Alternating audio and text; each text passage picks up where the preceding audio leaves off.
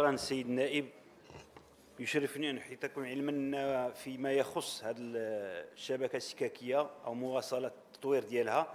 المكتب الوطني للسكك الحديدية قام بإعداد مخطط طموح على المدى المتوسط والبعيد باش يغطي كافة الطلب الوطني بالشبكة السكاكية.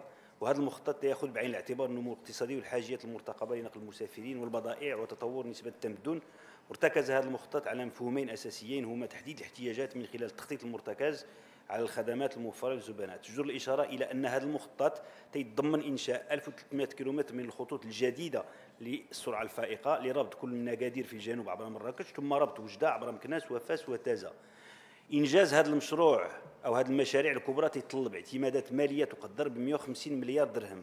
تيستدعي تضافر جهود كل الفرقاء من أجل إيجاد حلول مناسبة ومبتكرة للتمويل وخاصة من خلال إشراك مجالس الجهات المغربية.